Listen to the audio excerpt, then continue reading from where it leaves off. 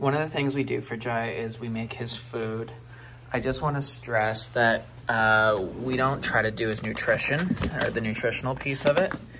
We use Canine Complete, which contains most of his vitamins, and then we also use a bone supplement, so that would be Better Bones over here, zinc supplement, and then a probiotic, then Firm It Up, which is this uh, pumpkin digestive aid.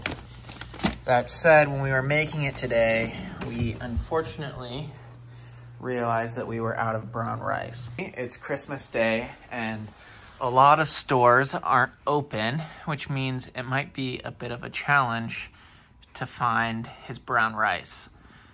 He's not really that concerned yet, but if it gets to be nighttime and he hasn't been fed, he might get a little upset.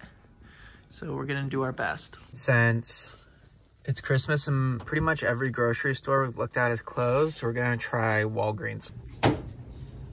Looks like we got it. So now it's time to head home and show Jai and tell him the good news. Jai, you're not gonna believe this. We got the rice.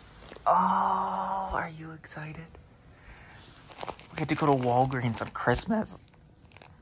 Now you can get your food. So now we got his rice cooking over here and his veggies cooking over here.